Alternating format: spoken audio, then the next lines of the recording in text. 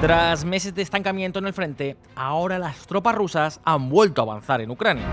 Miles de evacuados en Ucrania ante el avance ruso en la región de Kharkiv. El pasado 10 de mayo el ejército ruso se lanzó sobre varias localidades clave al norte de Ucrania, concretamente alrededor de la ciudad de Kharkiv. Según informaciones de Kiev, Rusia ha reunido una gran cantidad de fuego de artillería que ha forzado al ejército ucraniano a tener que abandonar varias de las posiciones que recuperaron el año pasado. Amigos, Ucrania durante meses logró contra viento y marea mantener sus líneas.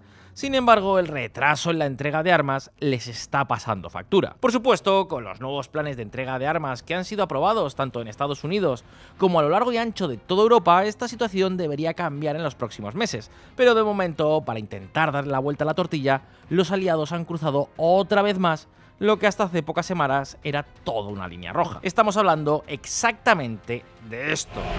Biden permite a Ucrania golpear algunos objetivos en Rusia con armas de Estados Unidos. Alemania permite a Ucrania atacar objetivos dentro de Rusia con armas alemanas. Y no se trata solo de Estados Unidos o Alemania. Prácticamente todos los países de la OTAN están aceptando esta misma posición. Ahora Ucrania tiene luz verde, puede utilizar los equipos occidentales para atacar posiciones militares dentro de la propia Rusia. Supone un nuevo giro brusco al curso de esta maldita guerra. Eso sí, la autorización no es ilimitada. Se limita exclusivamente a las áreas fronterizas con Ucrania, lo que algunos expertos militares ya están diciendo que puede que no sea suficiente. Sea como sea, lógicamente Ucrania no está dejando pasar la oportunidad. Ucrania comienza a atacar suelo ruso con armas estadounidenses. Por supuesto, como os podéis imaginar, Putin no ha tardado en reaccionar.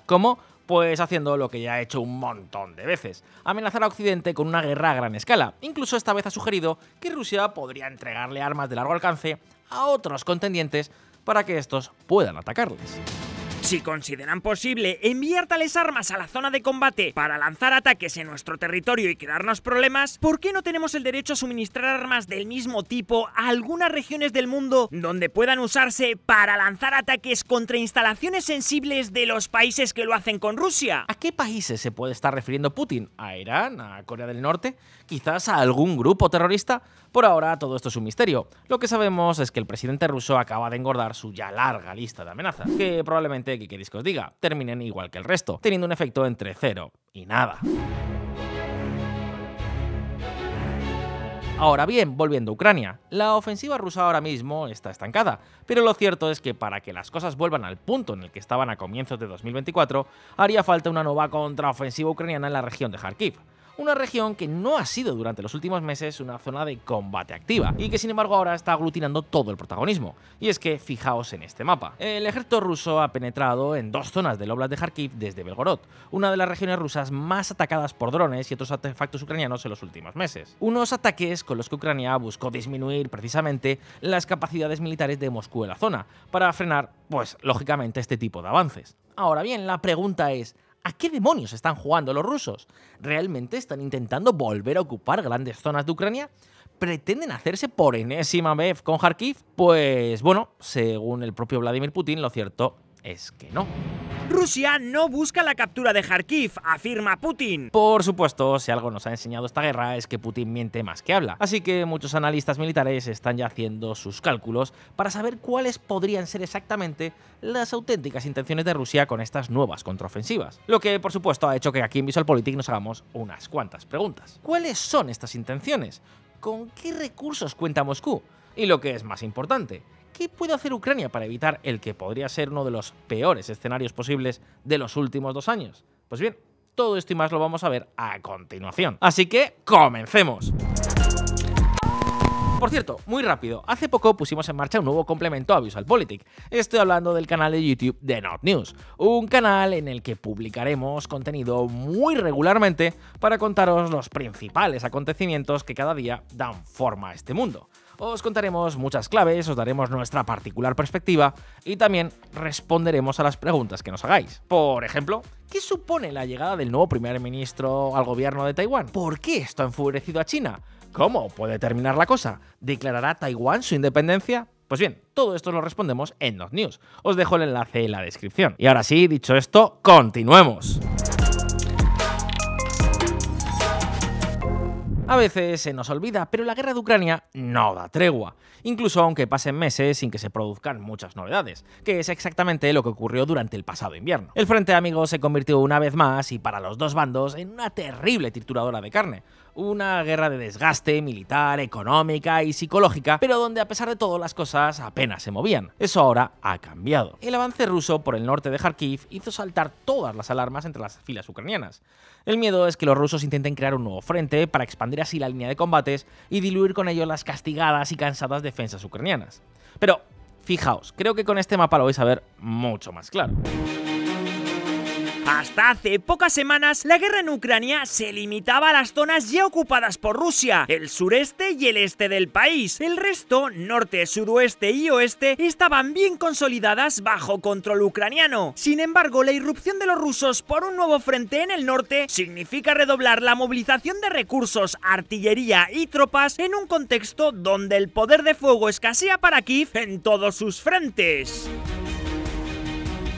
Tiene todo el sentido del mundo. Al fin y al cabo, si en algo tiene superioridad Rusia es en dos elementos claves, efectivo y artillería. Pero eso no es todo. Porque exactamente por qué penetrar otra vez más por un lugar donde ya han fallado varias veces. Pues bien, la idea general es que el dictador ruso busca terminar con las operaciones ucranianas contra Belgorod e incluso Kursk, muchas de las cuales se lanzan precisamente desde el Oblast de Kharkiv. De la misma forma, con este movimiento, los rusos podrían querer aislar a batallones como el Cuerpo de Voluntarios Rusia, la Legión Libertad de Rusia y el Batallón Siberia, los tres grupos militares que forman informalmente parte de las Fuerzas Armadas ucranianas, pero que están formados por desertores rusos y que habitualmente operan dentro de la propia Rusia. Y exactamente lo mismo podemos decir del regimiento bielorruso, que también opera en Kharkiv y que como podréis estar imaginando, sí, está formado por desertores de Bielorrusia. Hablamos, queridos amigos, de grupos que seguramente os suenen porque desde el año pasado de vez en cuando penetran en Rusia con incursiones rápidas para atacar pueblos, puestos de control militar y realizar sabotajes de todo tipo.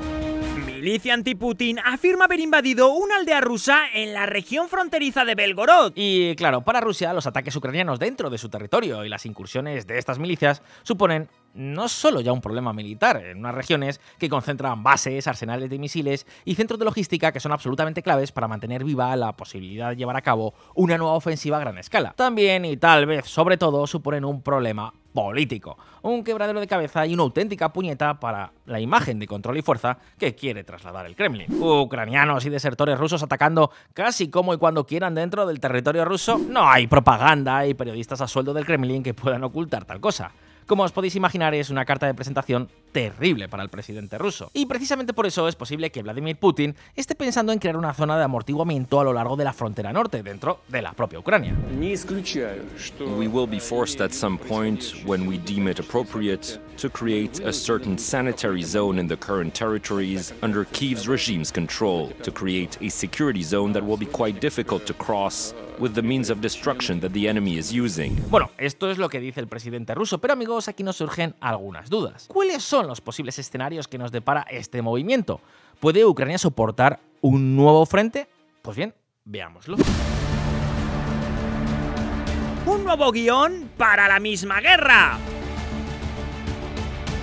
A ver, hay una cosa que tenemos que tener muy clara. El norte de Kharkiv puede ser clave para el devenir de la guerra. Hablamos de una zona con embalses, ríos y bosques que dificulta cualquier operación militar rusa. El problema es que Ucrania tiene pocas reservas militares terrestres para controlar este territorio, ya que todos sus esfuerzos pues, han estado concentrados en mantener las líneas del frente en el sur y en el este del país, que son las más activas. Zaporizhia, Donetsk, Lugansk, Kharkov, seguro que habéis escuchado estos nombres una y otra y otra vez a lo largo de esta guerra. ¿Y qué quiere decir todo esto? Pues básicamente que podemos interpretar esta nueva ofensiva de Rusia bajo tres escenarios diferentes. En primer lugar, tenemos la posibilidad de que los rusos realmente hayan querido crear una zona de amortiguamiento en la frontera, como antes decía Putin, para acabar de cuajo con los ataques ucranianos y las incursiones de las milicias de desertores. En segundo lugar, está la opción de que estén preparando un ataque a gran escala y es que Rusia podría intentar retomar la zona liberada por la exitosa contraofensiva ucraniana de finales del verano de 2022, lo que lógicamente sería un durísimo golpe militar y psicológico para la resistencia de Ucrania. Y luego, en tercer lugar, está el escenario de que todo sea una mera maniobra de desgaste y engaño. Digamos que Rusia podría estar intentando inmovilizar en este territorio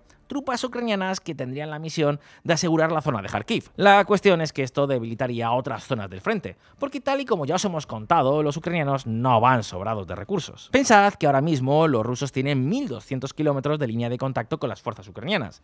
1.200 kilómetros que obligan a Ucrania a tener desperdigados un montón de hombres, lo que les impide crear un frente de batalla principal. Además, con una línea de frente tan extensa, los equipos occidentales también se diluyen, porque si algo ha quedado claro en el curso de la guerra, es que los ucranianos tienen mucho miedo a que una incursión rusa se pueda abrir paso. Por eso, en lugar de optar por crear un frente muy armado, que es lo que pide Washington, en Kiev están optando por desplegar fuerza en muchas posiciones diferentes, que es lo que, según Estados Unidos, hizo que la contraofensiva de 2023 fuese un desastre. Pero sea como sea, el caso es que ahora con estas nuevas ofensivas rusas, aunque sean pequeñas, estas líneas se alargan aún más, y con ello todos los problemas. Bien, esto es lo que dicen los principales análisis militares. Pero ahora bien, ¿cuál de estos tres escenarios es más probable?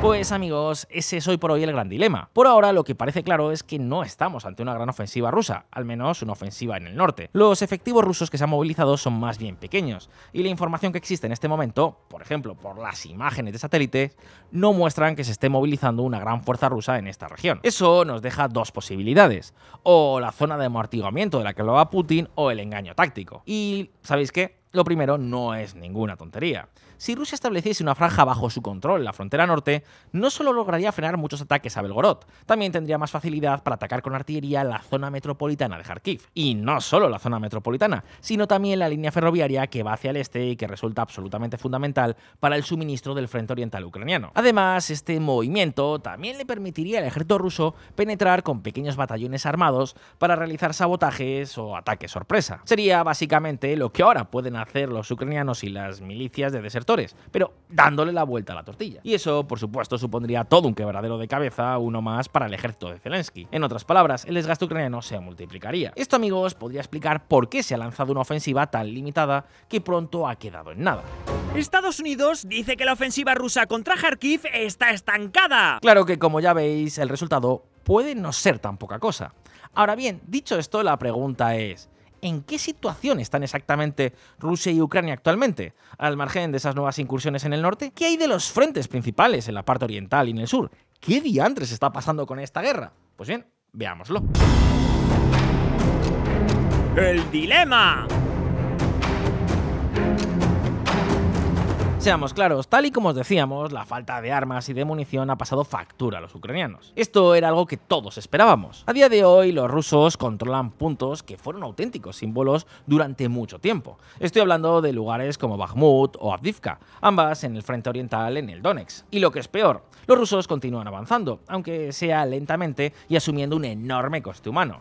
De hecho, los rusos llevan semanas presionando las líneas ucranianas en Donetsk intentando que éstas se quiebren. Es un movimiento lento pero constante. Insisto, si algo le sobra a Rusia y le falta a Ucrania, eso es precisamente carne humana. Y todo esto además ocurre mientras la capacidad industrial y el suministro de municiones al ejército ruso ha mejorado. Para que os hagáis una idea, solo Corea del Norte, por ejemplo, ha permitido a Moscú acumular más rondas de artillería, y se cree que Pyongyang le podría llegar a entregar a los rusos entre 1 y 3 millones de proyectiles anuales. Poca broma. Y eso no es todo. Según algunas proyecciones, Rusia podría llegar a producir por sí misma más de 2 millones de proyectiles tanto de calibre 152 milímetros como de 122. Esto, para que os hagáis una idea, sería el doble de artillería de la que producen tanto Estados Unidos como la Unión Europea para enviar a Ucrania. Sí, es verdad que las armas occidentales tienden a ganar en precisión y que por tanto son más letales, de tal forma que no necesitan de tantas y tantas rondas para hacer el mismo trabajo. Pero hablamos de una diferencia sustancial que nos deja una cosa bastante clara. Rusia está entrando ya seriamente en un modo de economía de guerra, y los esfuerzos para redirigir la producción industrial hacia la guerra están empezando a dar sus frutos. De hecho, tal y como ya os contamos aquí en VisualPolitik, el reciente cambio del ministro de Defensa Sergei Shoigu, un militar, por Andrei Belusov, un economista,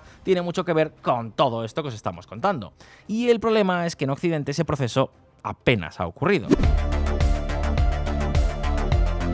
A ver, las nuevas entregas de armas serán de gran ayuda para Ucrania, de eso no cabe ninguna duda. Es posible que Kiev no solo consiga estabilizar el frente, sino incluso intentar nuevas ofensivas en 2025. El problema es que toda esta ayuda sigue siendo muy limitada. Y si la guerra se alarga, pues no está claro cómo puede terminar la cosa. Porque amigos, Ucrania no solo necesita equipos, necesita también y ante todo munición. Y eso es precisamente lo que está escaseando. Y claro, en Europa lo del impulso a la industria militar se queda en cuatro discursos políticos, un par de dosieres y poco más. A la hora de la verdad, el aumento de la producción industrial militar ha sido escaso en comparación con el que se ha registrado en Rusia. Y en Estados Unidos están algo mejor, pero tampoco para tirar cohetes. Pero si os parece, Echemos un vistazo a algunos datos. Fijaos, según Rostec, el gigante industrial estatal ruso, la producción de drones ha crecido en 2023 cerca de un 80%. Y a ver, aunque no vamos a ser nosotros los que creamos a pies juntillas estas cifras, lo que sí que es cierto es que el rearme ruso está ocurriendo. Y eso, evidentemente, no son buenas noticias para Ucrania. Sobre todo si no empieza a llegar muchísimo material militar occidental de una vez por todas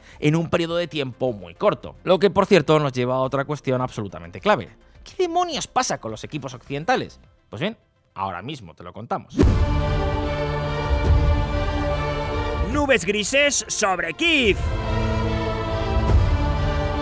Simplificándolo mucho, una guerra convencional como esta se decide por dos cosas, el equipamiento y la mano de obra, es decir, el número de soldados disponibles para luchar. Pues bien, el problema es que Ucrania lleva teniendo problemas en ambos campos desde hace muchísimo tiempo. Durante los meses que no han recibido armas americanas, los de Zelensky han sufrido lo que no está escrito. De hecho, el mismo presidente ucraniano dijo a finales de marzo que sus tropas estaban haciendo de tripas corazón para no retroceder. Y es que, veréis, el año pasado los militares ucranianos informaron que necesitaban al menos 10.000 proyectiles de artillería por día para sostener el esfuerzo de guerra. Pero las entregas han sido mucho más escasas. En abril, sin ir más lejos, las entregas llegaron a desplomar a tan solo 2.000 proyectiles. Y a ver, esto en los próximos meses, gracias a que los aliados de Ucrania están comprando munición por todo el mundo, puede cambiar. Pero veremos si ese esfuerzo es constante. Si no, ¿qué queréis que os diga? Pronto volveremos a la casilla de salida. Y amigos, como comprenderéis, es muy difícil. Un acto heroico mantener una línea de combate en pie contra un país como Rusia en semejantes circunstancias. Y oye, lo cierto es que los ucranianos lo han conseguido, y eso de por sí es admirable. El problema es que el desgaste ha sido enorme, y eso le ha dado la iniciativa otra vez a los rusos. Y aunque la ayuda militar estadounidense ya está de nuevo llegando, podrían pasar meses hasta que los ucranianos puedan ponerse al día y ser capaces de devolverle fuego a los rusos a los niveles de antaño. Pero ahora bien, un momento, porque las armas no son el único problema que enfrenta Ucrania.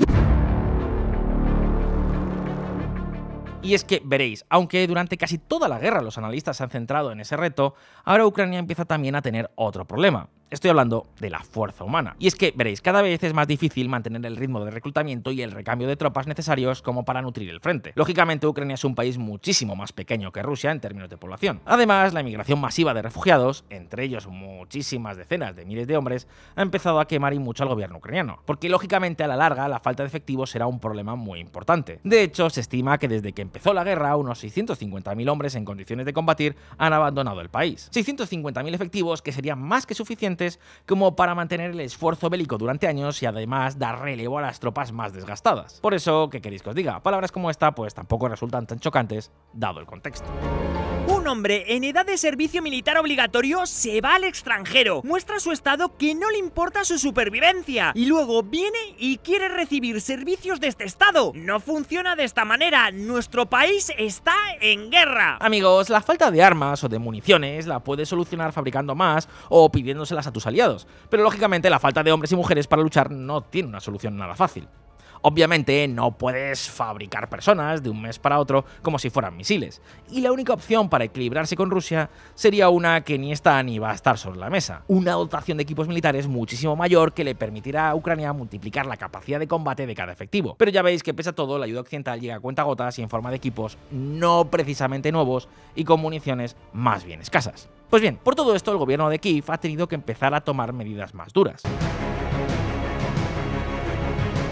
Por ejemplo, el pasado 12 de abril Zelensky decidió eliminar los límites al servicio militar, lo que prácticamente deja a los oficiales del frente sin la posibilidad de retiro y descanso. Y eso no es todo. No solo falta gente en el ejército, sino que también empiezan a faltar militares con experiencia suficiente como para dirigir batallones y operaciones de ataque. De la misma forma, el pasado 17 de mayo, Zelensky firmó una ley que permite movilizar a los presos para su entrenamiento e integración a las reservas ucranianas. Amigos, la situación no es precisamente la mejor. Falta munición y falta soldados. Pero por si fuera poco, ¿sabéis qué?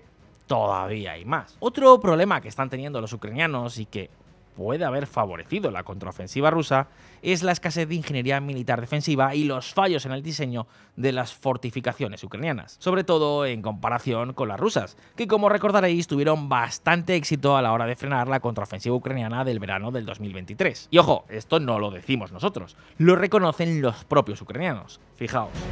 La primera línea de fortificaciones y minas simplemente no existía. El enemigo entró libremente en la zona gris a través de la línea fronteriza, que en principio no debería haber sido gris. Ahora bien, una vez que sabemos todo esto, la pregunta es, ¿qué se podría hacer para que Ucrania le dé otra vez la vuelta a la tortilla? Pues bien, veámoslo. Ucrania, ¿qué necesitas?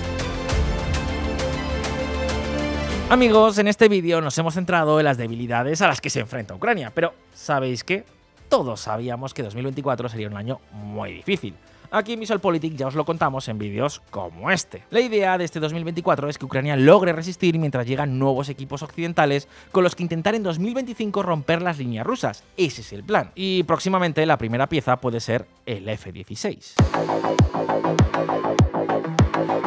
Ucrania lleva pidiendo los cazas F-16 desde el comienzo del conflicto. Ahora, tras varios meses de espera, los primeros podrían llegar para finales de junio o principios de julio. Y no hablamos precisamente de pocos, hablamos de 60 aviones procedentes de Noruega, Dinamarca, Países Bajos y Bélgica, que podrían rivalizar con los cazas de cuarta generación rusos como el Sukhoi 27 o el Sukhoi 30, que son intensamente utilizados por los rusos en sus ataques. Desde Ucrania se espera que con los F-16 se pueda brindar apoyo aéreo a las fuerzas terrestres y aniquilar las defensas aéreas rusas. Por supuesto, usar estos cazas en esta guerra no será una tarea nada fácil. Para empezar, porque aunque Occidente ha estado entrenando a pilotos ucranianos durante meses, no hay pilotos que realmente tengan experiencia en los mandos de este aparato. Pero sea como sea, la entrega de los F-16 y la enorme cantidad de ayuda comprometida por los aliados, tanto por Estados Unidos como, ojo, por los propios gobiernos europeos, es el plan con el que se espera que la tortilla pueda darse de nuevo la vuelta en no mucho tiempo. Pero, ¿sabéis qué? Hace falta más los aliados tienen que ponerse las pilas, porque si algo ha demostrado esta guerra es que sus capacidades militares tienen más agujeros que un queso suizo. Como siempre en VisualPolitik estaremos muy atentos a todo lo que ocurra y estaremos aquí para contároslo con todo detalle. Pero por ahora el turno es para todos vosotros. ¿Cómo pensáis que evolucionará la guerra en los próximos meses? Déjanos tus impresiones en los comentarios y abramos debate. Y muy importante, si este vídeo te ha resultado interesante, no olvides darle like y suscribirte a VisualPolitik si es que aún no lo has hecho. Ah, y échale también un vistazo al nuevo canal de YouTube de Not News. Como siempre, muchas gracias por estar ahí, un saludo y hasta la próxima.